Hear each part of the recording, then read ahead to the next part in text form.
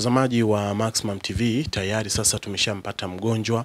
Tumetoka kuongea na mama yake, kwa kwa sasa hivi hapa tumeshampata mgonjwa, yupo kwenye chumba chake, analala chini, mazingira yake ni magumu. Hapa ni kwa mama yake mzazi, ambapo yeye anaishi. Anapitia wakati mgumu sana. Ukimtazama hata miaka hamsini aliyopewa, sidhani kama kafika, lakini maradhi yamemfanya onekane hata na miaka hamsini anaumwa sana, anapitia nyakati ngumu sana. Tazama chini anapolala, tazama mazingira yake. Hivi ndivyo ambavyo anaishi. Kitendo cha mimi kuanza kuongea, maskini ya Mungu anakosa nguvu, anaamua tualie kwa sababu hajui anaanzia wapi anamalizia wapi. Pole dadangu, pole pole, nyamaza kulia, nyamaza kulia dadangu.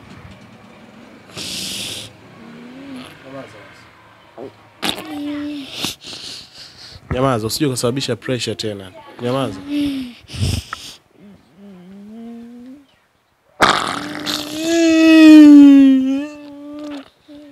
Sasa usijizibe basi.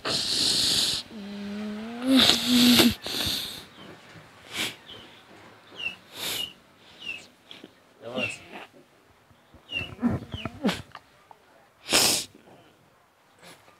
Nyamaza. Nyanyua kichwa juu basi. Kwani unalia sana?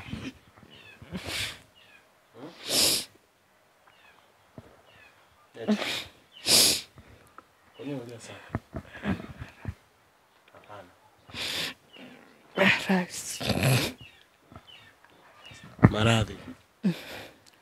Yamekuanza kipindi gani? Miaka? Miaka kumi sasa. Toka maradhi yamekuanza. Upo ndani miaka kumi. Ilikuwaje siku hiyo ndo ukaanza kuhisi unaumwa? Andikwa na pumzi. Pumzi tu juu ulipo lipo. Eh, Na kupima hospitali tena nikaambiwa na sukari. Sukari imepanda ishirini. Tena ndo nkaanza maradhi mpaka leo. Haujawahi kufanya kazi yoyote wala kufanya kitu chochote? Nilikuwa na uza samaki tu. Ulikuwa kipindi hicho mdogo sana au? Ah, ah, nilikuwa nishaza Ulikuwa na watoto wangapi?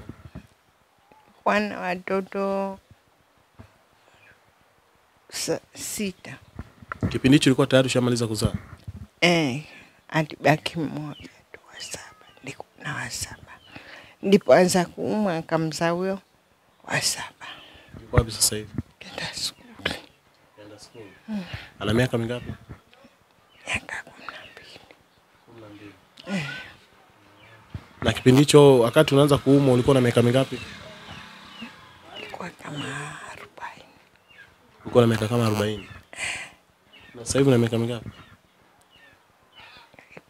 Kama hamsini au hamsini au hamsini na. Mwaka gani? Ah, sijui tena, mi sijui Ni zamani sana. zamani. Pole, umedhoofika sana, mwili wako umeisha sana. Ni sukari tu ndio inakutesa. Na hicho kidonda toka unacho mpaka sasa hivi kina muda gani? Hicho kidonda Eh, miaka kumi hakijawahi kupona wala nini? sasa imeingia na presha, Sukari.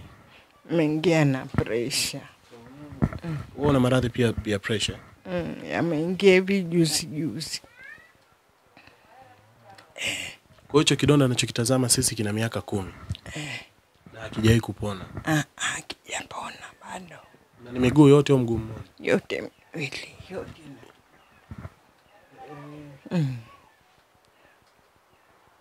na vidonda viko kwenye kisigino. Mbona mguu kama umepinda, upo kawaida kama vile ambavyo anatakiwa upo? Ulishakatokata nyama? Ah, ndo hayo marazi sukari. Hawajawahi kuugusa hospitalini? Ah, ah, huku eh, ndo nilikuwa amekeketwa Kukeketa na kufanyaje? kuparwa. Alafu ndo imeanza tena na huko. eh, kuja huku mpaka huku si unaona mpasuko Lakini pia naona kuna tundu kubwa ehe, ndo kidonda. Haupati maumivu sana? Ah, nakuwa naumia siku nyingine Na huu mguu pia umeshaanza. eh, mshaanza na, na huu ndo wa mwanzo uloanza kidonda. kidonda. Lakini cha ajabu ule kule ndo umetoka kidonda kikubwa kuliko huu. Huu kwanza ulikuwa huu kikubwa, alafu ukarukia. Kwamba sasa hivi kutembea tena ndo hauwezi. Ah, ah, siwezi Kwa hiyo nguvu hakuna tu kabisa au ni kwa sababu ya vidonda vile ndo maana hauwezi? eh, ndo- kwa sababu ya vidonda siwezi Lakini nje wago unatolewa unakaa unavuta pumzi eh, natolewa kama hapo mpaka ntolewa. na watoto wako. Mm, Watoto wako wanafanya kazi gani? hawana kazi Watoto wako wote saba. eh, hawana kazi Si ni mmoja tu ndo anayesoma wengine wote wameshamaliza. eh, wengine washamaliza wari nini na wa, Wameolewa. eh, wameolewa Na wote wa kike wako. eh, Na baba yao yuko wapi? baba yao kanikimbia Kakutoroka.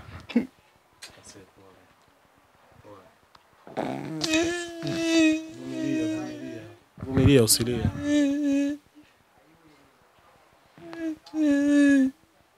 Inaumiza sana mtazamaji, ni namna ambavyo anapitia. Amezalisha watoto saba akijua kwamba huyu ndo mume wangu wa maisha, tuzae watoto, tupange mipango yetu, lakini mwisho wa siku, baada ya maradhi ya sukari, mume kakimbia. Usilie, nyamaza, usilie.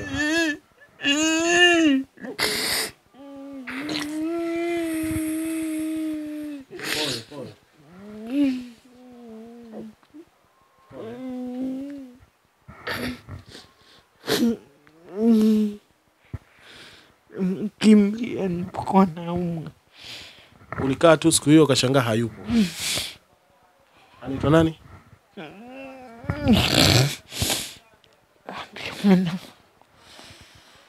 Huyu ambaye alikuwa na na- naye pia si anakaa hapa hapa. Yeye sikaolewa pia. Ah, ah, huyu anakaa Mitendeni. Mitendeni. Ah, ni, ni, ni mtoto wako wangapi kumzaa? mtoto wangu wa pili. Na mtoto wako wa pili. Eh, Na ndo huyu ambaye amesema mume wake hataki aonekane. eh, eh, Kwa hiyo mpaka sasa hivi mume wako haonekani, hamjui alipo. ana mkewe Magogoni. Na- Anaishi naye. Eh, Na watoto anao wengi. eh. Mimi kanikimbia Jina lake anaitwa nani? Shali Kombo, Shani Kombo. Shaali Kombo. Sha Shaali Kombo. Eh. Yaani hanipiti wanolonte wana chochote wala haniulizi wala hanipea hata, yaani hanipiti wanolonte Na kule na watoto wangapi? Uko wengi sana, naona kama sita au saba. Yeye anazaa tu. mm. Kulea a mm Me huyo anasoma skuli, yani anahangaika saa ishirini na nne maana anadaiwa mara lete hichi lete hichi, pesa hatuna. mm Baba yake kama hana baba, yani kama hana Pole sana. Mbwa maradhi yakikuzidia hapo unanyooka tu, unakuwaga hauna ujanja, mm. unapoteza hata fahamu. eh, kama wiki wiki napoteza fahamu. Toka asubuhi sasa mpaka sasa hivi hapa unasubiria tu akishapika unakula, basi unaendelea kuwepo hapa. eh. Sawa. Sasa tu, tu, tunataka tujue mama yako amesema kwamba tatizo lako ni kama la kishirikina. Mm. Wewe kwa upande wako, naomba utuambie kwa nini mmewaza kwamba ni kishirikina?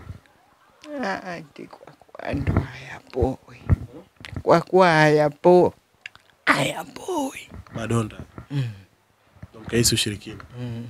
Amesema pia ulikuwa ukitembea unaona kama kuna mtu anakufuata. Hem, tusimuone. Eh? Ilikuwaje? ehe, ilikuwa kama naona mtu ananifuata, nikitizama simuoni. Usiku au sokoni?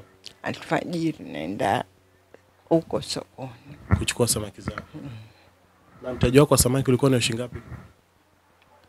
kama elfu hamsini kama hivyo eh. Kwa hapa elfu hamsini ni tajiri sana mpaka mtu anaamua kukuloga tu kwa sababu tu anakuona ninua nilinunua kiwanja hicho, hicho huko nako tawasaidizi wasaidizi kunijengea jengea, nilinunua mwenye kiwanja Sasa hii kwa mzima. jambo zuri. Sasa sasa hivi tumeambiwa na mama ambaye mama yako bibi yetu sisi, si ndio? Kwamba nimemuuliza kati ya kutafuta pesa za matibabu na kujenga hipi ni bora, akaniambia kwake kujenga.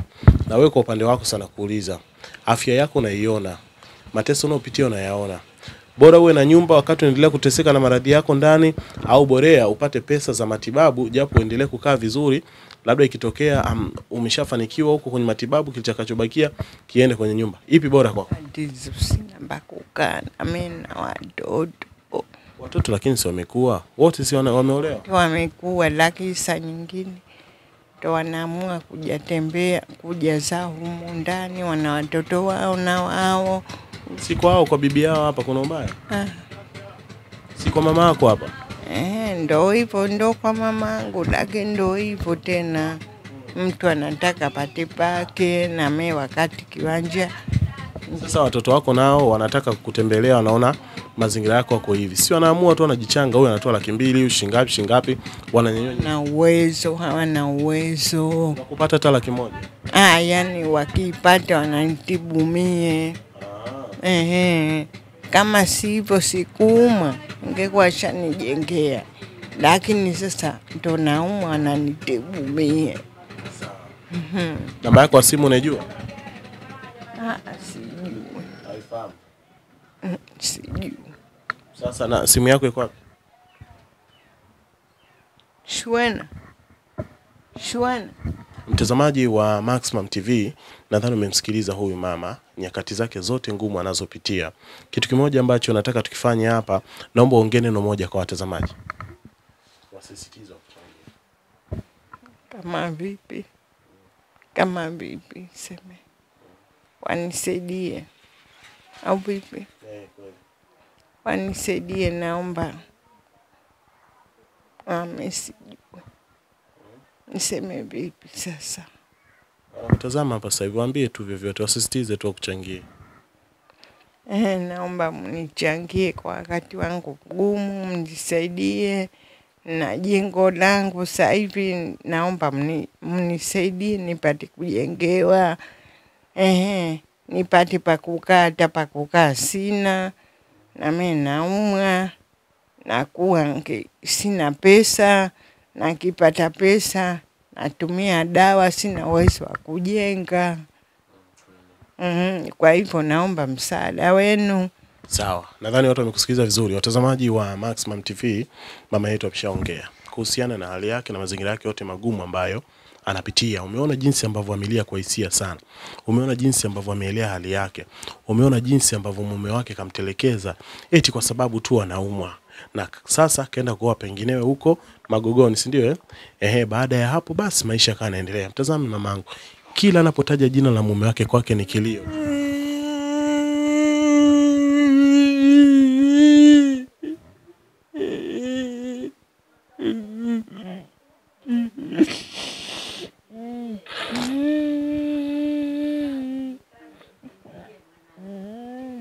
Hivi ndivyo ambavyo maumivu yake makali yapo wakati wote. Kwa upande wangu mimi namhurumia sana na natamani tumchangie ili apate faraja. Tukitaja jina la mume wake anaumia sana kwa namna ambavyo ametelekezwa, maumivu ambayo kwake hayajaisha. Huku ni Zanzibar, Unguja. Tumekuja hapa kwa ajili tu ya kuja kumtembelea, tujue hali yake, tumsaidie huyu anayepitia mazingira magumu, tumsaidie mara zote tuwezavyo. Ninaweka namba ambazo ukipiga utampata yeye moja kwa moja, ama kama si yeye atapokea mtoto wake wa kumzaa, na nadhani baada ya hapo kuna siku tutarudi tena, tutakuta kile ambacho kilikuwa kinamliza kimetoka na faraja imerejea. Mimi ni Zahir Huseni, namba za simu hizo hapo chini, zichukue, wapigie, wacheki wasaidie vile wezavyo. Mungu atakubariki kwa nafasi yake. Endelea kuwa na sisi kupitia Maximum TV, lakini pia tupo Zanzibar kama ambavyo nawaambia kila saa. Naombeni ndugu zangu, mtupigie simu kupitia namba ambayo iko chini kulia hapo. Ukishatupigia hiyo namba, sisi tutakuja muda huu huu hapo ulipo.